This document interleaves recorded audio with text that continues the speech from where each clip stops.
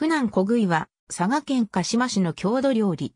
生きたままの船を昆布で巻いて、大根やレンコンなどの野菜と一緒に、味噌や水飴などで長時間煮込んだもの。名称は、船のコリの小氷がなまったものと言われている。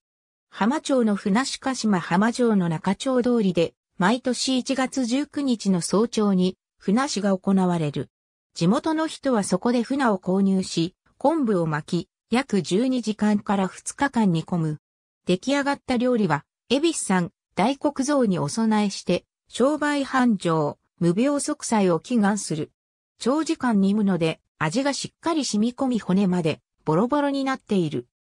この風習の起源は、天武天皇の娘で、大友王子妃であった重視王女が、大友方の天武暗殺計画を知り、船の腹に密書を隠して、父に知らせたことにちなむという。今の調理方法になったのは、醤油、昆布が流通し始めた室町時代以降と考えられ、300年以上前の半世時代にはすでに1月20日に恵比寿大黒像に備え幸せが祈願されていた。10日恵比寿と20日正月が一緒になって現在の形になったと考えられる。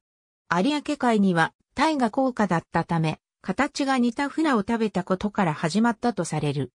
なお、有明海にはタイがいなかったから、船を食べたとする説もあるが、有明海にもタイはたくさん生息しており、タイの昆布締めは生食である。醤油で煮込むなど、むしろ昆布巻きに近い調理方法であるので、これは明らかな誤りである。